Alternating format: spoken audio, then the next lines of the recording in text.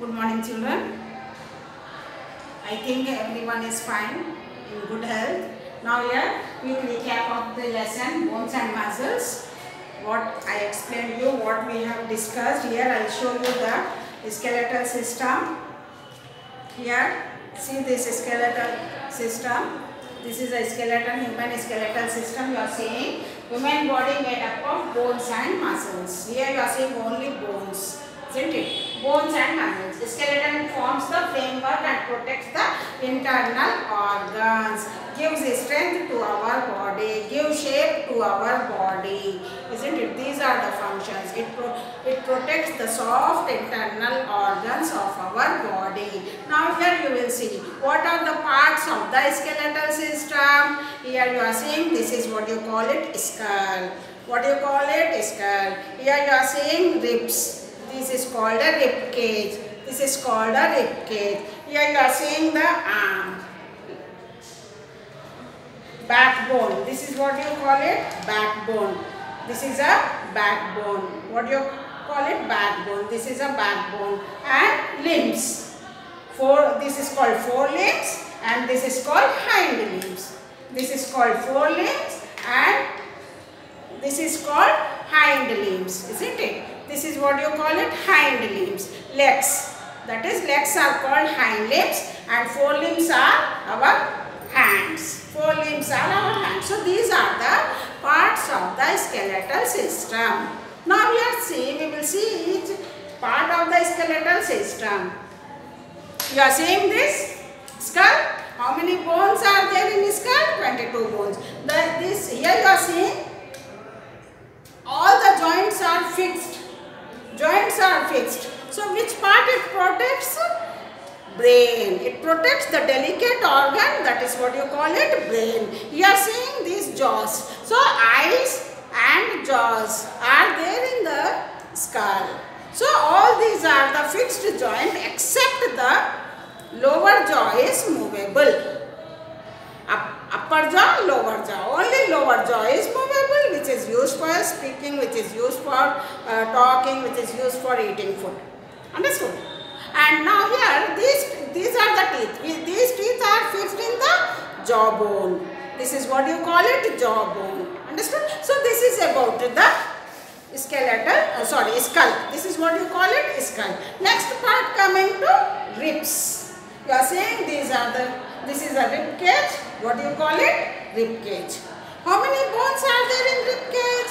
12 pairs. 12 pairs of bones are there in the rib cage. How many pairs of bones are there? 12 pair, pairs of bones are there.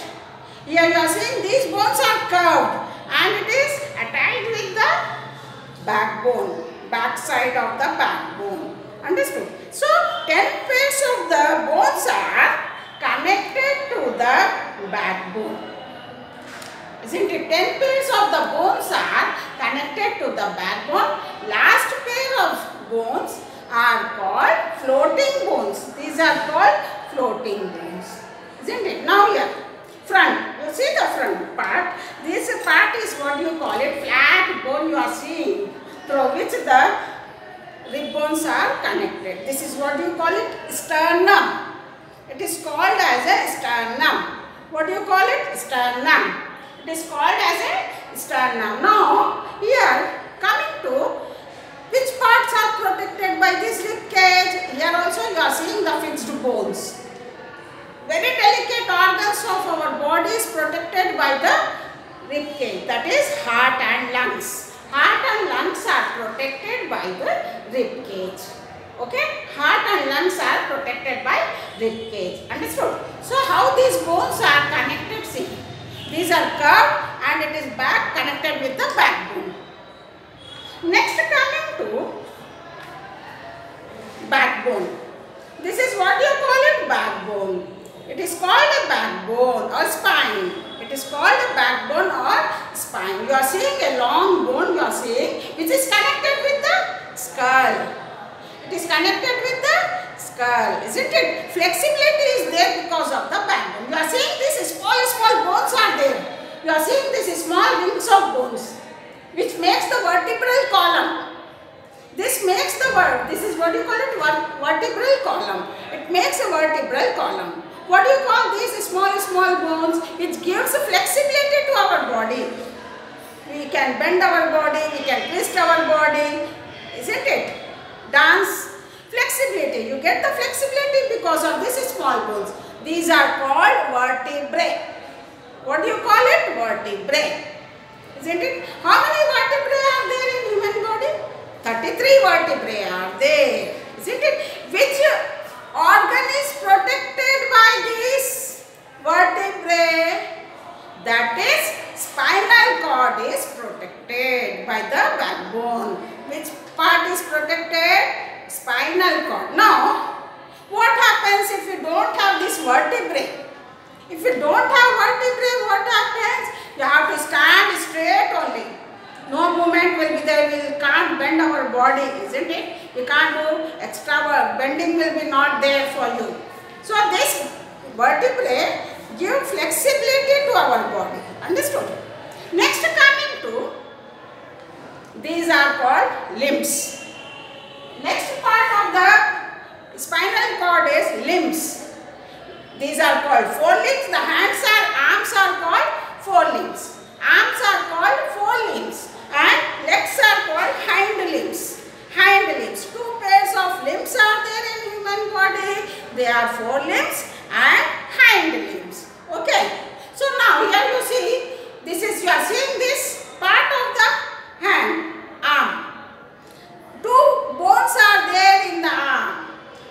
Two bones are there in the arm. This end of the arm is connected with the shoulder bone.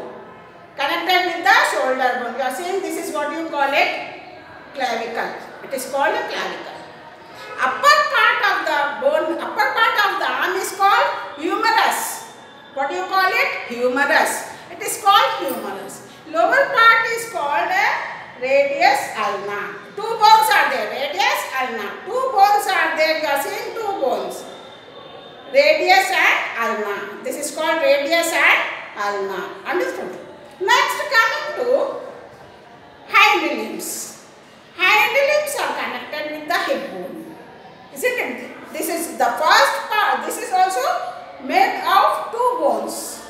Two bones.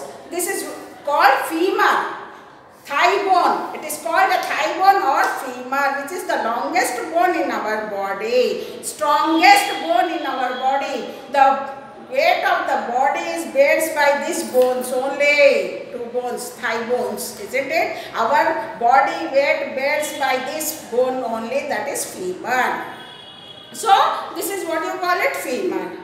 Another bone is there, another part of the leg is that is hind limb tibia fibula tibia fibula two bones you are seeing tibia fibula this is what you call it tibia fibula understood here so this is connected with the knees. Knee joint. Here you are seeing this is knee joint. So which helps in bending movement. You find the movement in our body in the joints. Okay? So this is about the skeletal system. This is about the skeletal system. Now joints. Coming to joints. See, wherever the two bones meet, it is called a joint. Wherever you see the two bones, it is called a joint. See, movement, you are seeing the movement? Here. In the knee also, you are seeing the movement. These are called joints. These are called, here you are seeing, see here, you see this, full it is moving.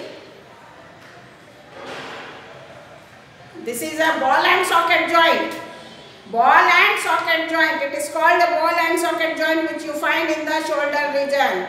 Shoulder and hip bones here. You will see full movement you will see. Hip bone and shoulder you will so, uh, see the ball and socket joint. This is a neck bone where you find the movement sideways up and down. Movement that is a pivotal joint. What do you call it? Pivot joint. What do you call it? Pivotal joint. It is called a pivotal joint. Neck joint is called a pivotal joint. And this is what you call it? Ball and socket joint which shows movement in all the direction. All the direction you will see the movement. Understood? It is called a, what do you call it? Ball and socket. Now, arms. You find the movement in one direction only like a hinges of door. It is what you call it hinge joint. You are seeing movement in only one direction. It is called a what do you call it hinge joint. Here even in the fingers also you will find that in one direction only movement. It is called a what do you call it hinge joint where you find only the movement in one direction only. So it is called a hinge joint. Understood? You find the hinge, jo hinge joint in elbow, you find in knees, you find in fingers, you find in toes also. Understood children? So um, this is about the skeletal system what I explained you. So muscles hold bones together and makes movement in our body. There are three types of muscles what I explained you. Voluntary, involuntary and cardiac muscles. Voluntary muscles which works on their own. Arms, legs, you find the voluntary muscles. Whenever you are willing, you will do the work. Isn't it? Whenever you want to go outside, that is your wish. Understood? Involuntary muscles which work on their own. When we are sleeping also, our body organs function, our body systems will function continuously. These are called involuntary muscles. Uh, that is breathing. When we are sleeping also our breathing process takes place, isn't it? Digestion takes place in our body. So, these uh, processes take place in our body when we are sleeping also. Cardiac muscles, heart muscles are called cardiac muscles, isn't it? Heart is a pumping organ which pumps blood to all the parts of the body. So, uh, this is about the skeletal system. I showed you. Thank you. Have a nice day.